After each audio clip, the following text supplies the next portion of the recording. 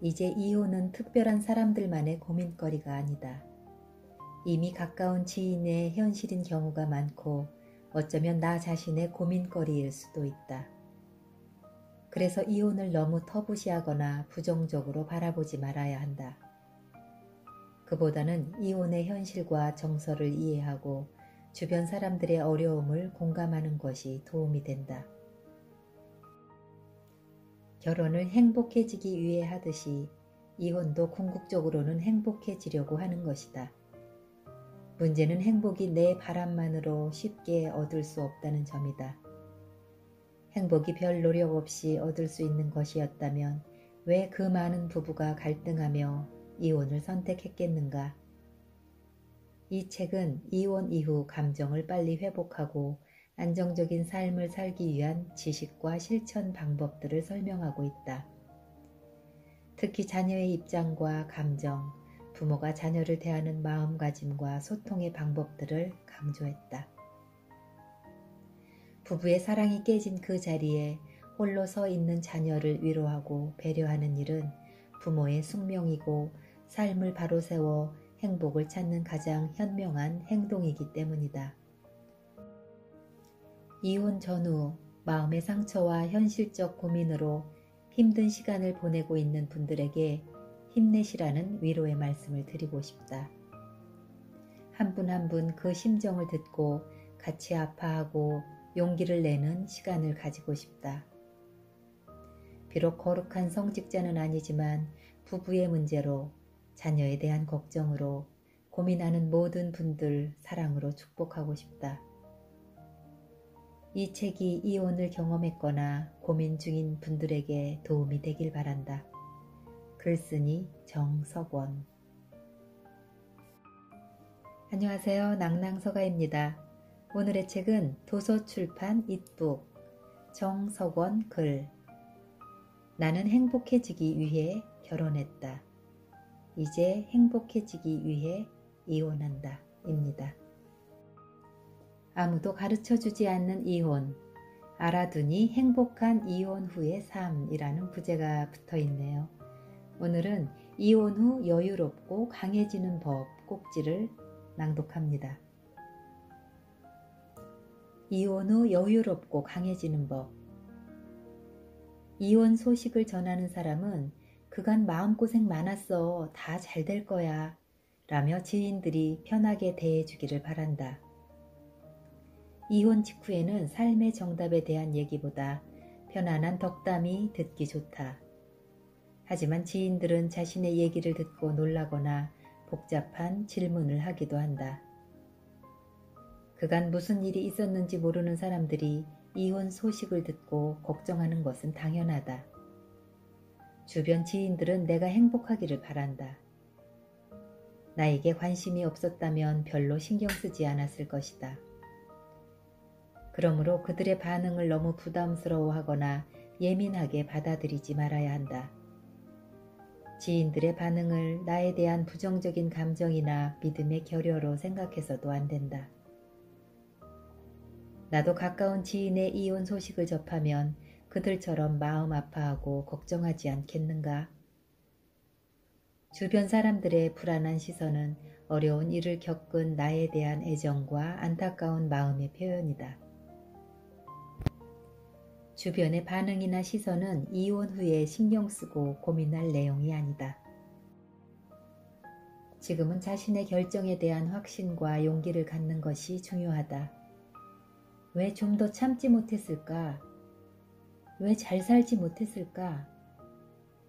내 성격이 문제가 있었나? 그렇게 스스로를 흔들고 자신에 대해 냉정하게 분석하는 것은 도움이 안 된다. 사람은 누구나 기대했던 계획이 틀어지면 실망하거나 일시적으로 자신감을 잃을 수 있다. 그러나 지금은 까칠한 자기 분석보다 감정을 추스르고 마음의 안정을 찾는 일이 중요하다. 이혼 후에는 스스로에게 더욱 관용을 베풀어야 한다. 어쩔 수 없잖아. 그간 마음고생 많았어. 그 정도로 고민하고 참았으면 이제 됐어. 아이를 위해서라도 힘을 내야지. 이렇게 자신을 다독이고 용기를 주어야 한다. 혹시 누가 내 이혼 결정을 삐딱하게 비난하더라도 신경 쓸 필요가 없다. 그들이 숱한 밤을 괴로워한 내 심정을 어찌 알겠는가? 나는 앞으로의 인생을 위해 최선의 결정을 한 것이다. 그리고 혹시 주변 사람들이 질문하더라도 구체적인 답을 하지 않아도 된다. 여유가 될 때 얘기하자고 말하거나 그 얘기는 별로 하고 싶지 않다고 편하게 대답하면 된다. 이혼 과정을 겪는 것은 많은 에너지를 소진하는 일이다. 지금 필요한 것은 내가 나를 너그럽게 바라보기와 편안한 휴식이다. 결혼한 여성이라면 누구에게나 아름다운 웨딩드레스를 입었던 추억이 있다. 화려한 조명 아래 하객들의 축하 인사를 받았던 행복한 결혼식이 기억날 것이다. 그날의 마음과 분위기가 평생 이어지면 좋겠지만 삶은 계획대로만 사라지지 않는다. 세상 부족한 것 없어 보이는 사람도 그만의 고민이 있다. 세간의 부러움을 샀던 다이애나 왕세자비가 불행한 결혼 생활을 했다는 건 아이러니한 얘기로 들릴지 모른다. 화려한 홀리우드 커플들이 고통스러웠던 결혼 생활을 고백하며 이혼하는 모습은 여러 생각을 하게 한다. 우리는 행복한 미래를 기대하고 인생의 중요한 결정을 하지만 결과가 항상 좋은 것은 아니다. 결혼이 그렇고 삶이 그렇다. 예상하지 못한 일을 경험하고 원치 않는 결론을 마주할 때가 많다. 오랜 시간 가난했던 부부는 돈을 많이 벌면 더 행복해지리라 기대한다. 삶을 고달프게 했던 가난만 극복하면 서로를 더 많이 배려해 주리라 결심한다. 하지만 가난했던 부부가 재산을 모은 후 헤어지는 경우는 비일비재하다. 헤어지지는 않더라도 어려웠던 시절만큼 서로를 아껴주지 못하고 우울하게 사는 경우가 많다. 뭐가 문제일까? 힘든 세월을 이겨내고 경제적인 여유가 생겼는데 왜 사이가 나빠지는 걸까? 우리가 생각하는 행복과 불행의 조건이 잘못된 건 아닐까? 우리가 바라는 행복은 모든 일이 원만히 잘 되고 성공하는 것이다. 행복한 부모가 되려면 자녀가 사춘기를 아무 일 없이 보내야 한다. 자녀는 방황하지 않고 원만하게 성장해야 하고 성적도 계속 올라야 한다. 성인이 된 후에도 사회생활에 성공해야 한다. 결혼도 홍기에 맞춰 좋은 배우자와 해야 한다. 혹 부부간의 갈등이 있더라도 서로 사랑하며 일평생 잘 살아야 행복한 삶이다. 몸이 아프면 행복할 수 없다.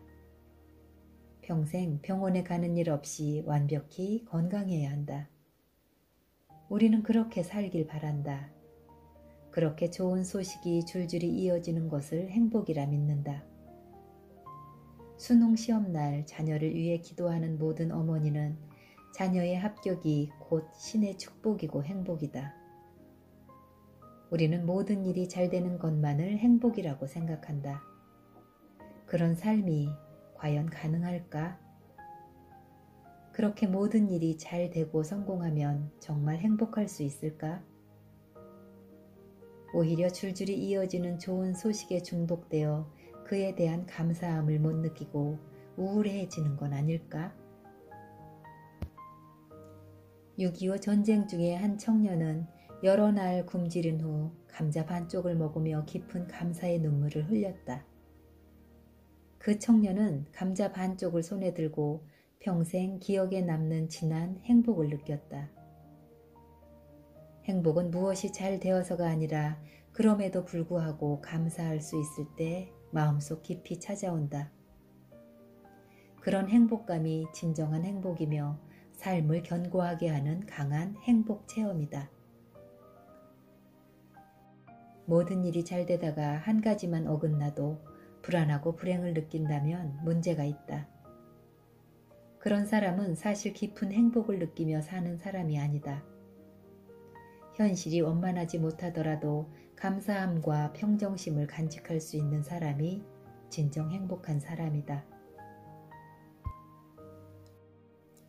이혼 후에는 삶과 행복에 대한 편견을 버리고 이혼을 긍정적으로 바라봐야 한다. 이혼에 대한 평가를 결혼이 실패한 결과라고 생각하면 안 된다. 그건 결혼에 대한 평가를 이혼에 대한 평가로 오해하는 것이다. 이혼에 대한 평가는 적어도 10년, 아니 20년, 30년 후에 말할 수 있다. 그 선택이 좋은 선택이었는지 아니었는지는 그 세월 동안 내가 삶을 어떻게 살았느냐에 달려 있다. 부모가 건전한 행복관을 가지고 자신의 삶에 충실하면 자녀도 그것을 담는다. 사람은 크고 작은 고통을 경험하며 산다. 어떤 사람은 부모를 일찍 여의고 어떤 사람은 질병으로 고통받는다. 또 어떤 사람은 실직과 파산을 경험하고 어떤 사람은 후천적 장애를 안고 살아간다. 이혼 직후에는 마치 삶을 잃어버린 듯한 상실감을 느낄 수 있다. 하지만 그 고통은 지나간다. 얼마 지나지 않아 적응하고 극복한다. 괴로웠던 기억 때문에 다시는 연애를 하지 않겠다고 결심한 사람도 시간이 흐르면 새로운 연인을 찾는다. 사람은 결혼하기 위해 태어난 것이 아니다. 결혼에 실패한 것은 삶의 일부가 잘 안 되었을 뿐이다. 삶의 전부를 실패한 것이 아니다. 이혼 직후에는 삶을 전체적으로 바라보고 이혼을 그 일부로 이해하는 넓은 시야를 가져야 한다. 이혼 때문에 삶 전체를 부정적으로 생각해선 안 된다. 그것은 마치 열 과목이 넘는 시험을 보는데 한 과목을 망쳤다고 해서 시험 전체를 포기하는 것과 같다. 사람이 일생을 살면서 중요한 것이 어디 결혼 하나뿐이겠는가? 삶에는 결혼 말고도 중요한 것들이 얼마든지 있다. 사회생활에서 성공하는 일은 결혼 못지않게 인생에서 중요하다. 꾸준한 노력으로 무엇인가를 성취하는 일은 삶의 의미를 더하고 자존감을 높인다.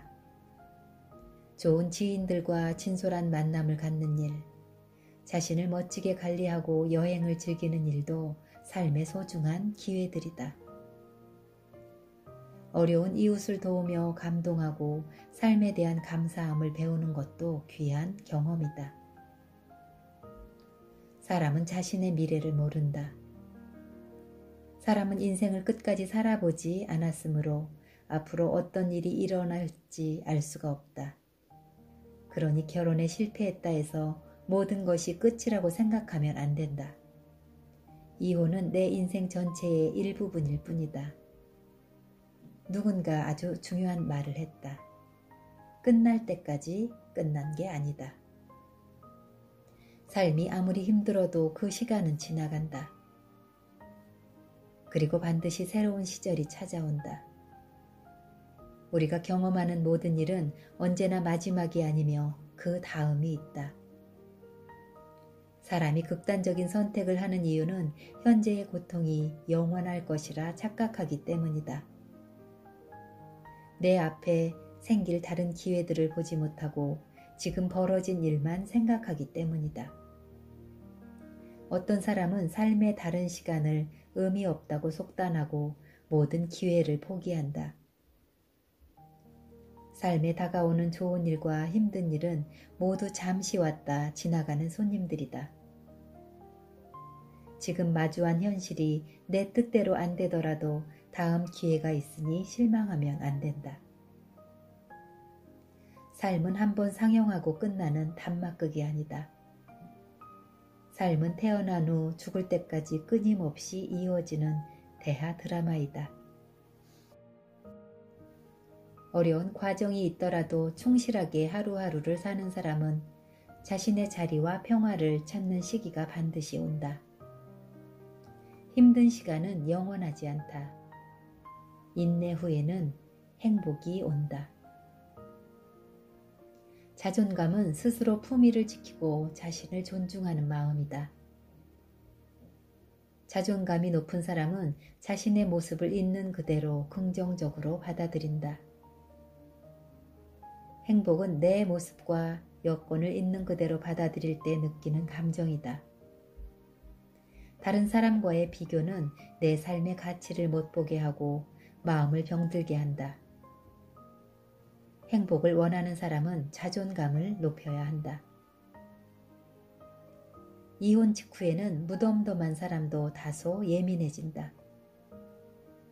주변 사람들이 자신의 이혼에 대해 부정적으로 생각하지 않을지 은근히 신경 쓰이게 된다. 하지만 주변의 시선이 좋고 나쁜들 무슨 의미가 있겠는가?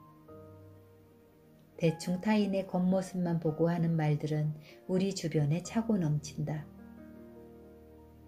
중요한 것은 자신의 결정에 대해 확신을 하느냐이다. 오랜 시간 고민하고 내린 결정이 최선을 다한 것이라면 그것으로 충분하다. 어차피 사람은 타인을 다 이해할 수도 없고 깊이 관심도 없다. 내 인생을 다른 사람에게 이해시키고자 신경 쓰고 에너지를 소비할 필요가 없다. 다만 나를 많이 걱정하시는 부모님, 나를 아끼고 사랑하는 친구들은 예외이다. 그들의 관심과 사랑으로 지금껏 살아왔기에 마음 아파하는 그분들만큼은 챙기고 마음을 나눠야 한다. 그분들 외에는 뭐라 말하건 깊이 신경 쓸 것이 없다. 이혼을 결정한 사람들은 이혼하는 과정에서 마음이 지치고 의욕을 잃기 쉽다. 자존감이 약해지기 쉽다. 사람이 오랜 시간 상대방을 깎아내리는 부정적인 말과 상처가 되는 비판을 들으면 정서가 메마른다. 어느 날부터 얼굴에 웃음이 사라지고 온종일 무표정하게 지낼 때가 많다. 우울한 감정이 일상을 지배하면 삶을 긍정적으로 바라보기 어렵다. 미래 역시 지금처럼 힘들 것 같은 불안을 느끼게 된다. 그런 감정과 생각의 고리는 과감히 끊어내야 한다. 마음속에 깃든 어두운 정서를 걷어내야 한다. 그러기 위해서는 약해진 자존감을 회복해야 한다. 자존감을 높이는 일은 이혼 후 마음에 새 힘을 얻고 자신의 본 모습을 찾는 데 매우 중요하다. 자존감이 높은 사람은 자신의 선택을 확신하고 타인의 평가를 신경 쓰지 않는다. 용서는 어려운 단어이다. 사람은 누군가를 용서할 때까지 하루가 채 안 걸리기도 하고 평생 용서하지 못하고 생을 마감하기도 한다. 상대의 잘못을 덮어주고 그 책임을 묻지 않는 일은 어쩌면 평생의 노력이 필요한 일일지도 모른다. 그러나 그렇게 어렵고 숭고한 단어가 용서이지만 성경에서 말하듯 모든 것을 사랑으로 덮는 놀라운 실천만이 용서는 아니다. 우리는 용서에 대해 모르는 게 많다. 용서는 상대방의 실수를 내가 직접 꾸짖거나 벌하지 않는 것이다. 상대방의 죄를 지적하고 벌주지 않는다고 해서 그를 마음으로 받아들이고 믿으라는 얘기는 아니다. 나에게 피해를 준 상대방을 어찌 신뢰하겠는가? 용서란 나에게 잘못한 상대방에 대한 지적과 처벌을 세상의 순리에 맡기는 것이다. 내 손으로 직접 벌주고 갚아주는 일을 하지 않는 것이다. 상대방이 언젠가는 세상에서 자신이 한 일의 대가를 받을 것이므로 내가 하는 응징을 포기하고 덮어두는 것이 용서이다. 용서는 화해가 아니다. 그래서 상처를 준 사람과 갈등이 있어도 용서는 가능하다. 용서는 상대방이 잘못을 시인하고 반성하며 적극적으로 용서를 구하지 않아도 가능하다. 그냥 내가 직접 그 사람을 벌주고 응징하지 않으면 되는 것이다. 누군가 그게 무슨 용서냐고 반문할지 모른다. 그런 용서는 너무 쉬워서 용서라 할수 없다고 말할지 모른다. 하지만 자신에게 깊은 상처와 인격적인 모멸감을 준 사람을 직접 벌주지 않고 세상의 순리에 내맡기는 일은 결코 쉬운 일이 아니다. 자신이 직접 응징하고 싶은 마음을 내려놓는 것만으로도 어려운 용서를 실천하는 것이다. 용서는 상처받았던 기억이 떠오를 때마다 그에 대한 처벌을 세상의 순리에 맡기는 것이다. 이렇게 힘들고 버거운 용서를 이해하고 실천해야 하는 이유는 뭘까? 그렇게 힘든 일이라면 안 하면 그만 아닌가? 직접 응징하려는 마음을 가진다 해서 대놓고 벌을 줄 것도 아닌데 무엇 때문에 힘든 용서를 속으로 해야 한단 말인가? 용서의 반대말은 복수이다. 복수는 원수를 갚는 일이다. 자신이 받은 상처와 피해를 자신의 주도로 되돌려주는 것이 복수이다. 사람이 상대방에게 받은 상처를 되돌려 주려는 강렬한 복수심을 갖게 되면 자신이 먼저 지치고 괴롭다. 감정적인 에너지를 심하게 소모하게 된다. 복수심을 갖는 건 부정적인 것이 아니라고 반론을 제기할 사람이 있을지도 모른다.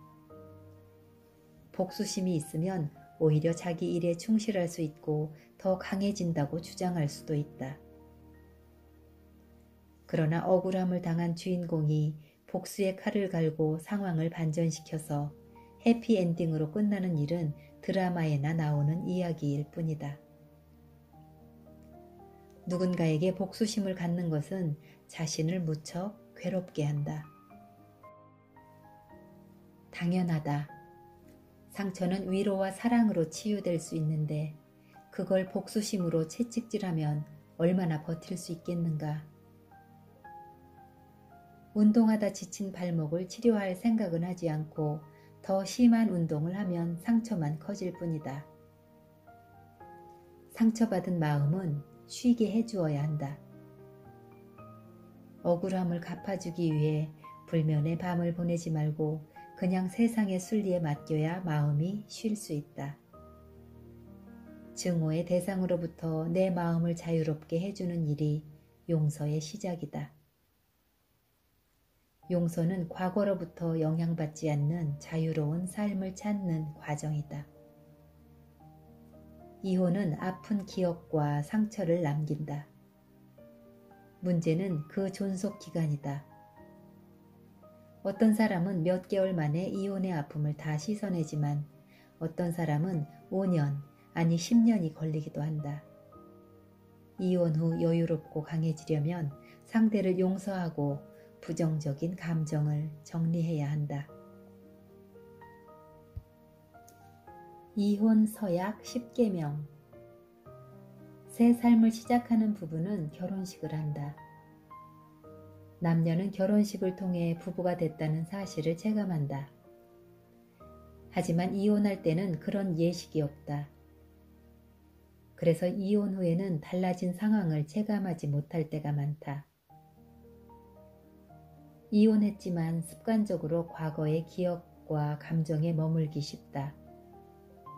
이혼 후 잘 살려면 과거를 내려놓고 행복한 삶을 준비하는 굳은 다짐을 해야 한다. 이혼 10계명 1. 어떤 상황에서도 지나간 일로 서로에 대해 불만을 갖거나 비난하지 않는다. 2. 이혼한 전 배우자를 자녀의 부모로서 인정하고 존중한다. 3. 이제 부부는 없으며 부모로서 자녀 양육에 충실할 것을 다짐한다. 4. 전 배우자를 자녀 앞에서 비난하거나 욕하지 않는다. 5. 자녀에게 전 배우자의 사생활이나 상황에 대해 질문하지 않는다. 6. 양육에 관련된 어떤 내용도 자녀를 통하지 않고 직접 소통한다. 7. 양육 부모는 자녀와 비양육 부모가 좋은 만남을 갖도록 돕는다. 8. 비양육 부모는 양육 부모의 양육 방식을 존중하고 따른다. 9. 전 배우자가 새 삶에 적응해 잘 살기를 진심으로 축복한다. 10. 친부모는 연인이나 새 배우자가 생긴 경우에도 변함없이 양육에 최선을 다한다. 친부모는 새 배우자와 전 배우자가 서로 존중하며 양육을 돕도록 노력한다.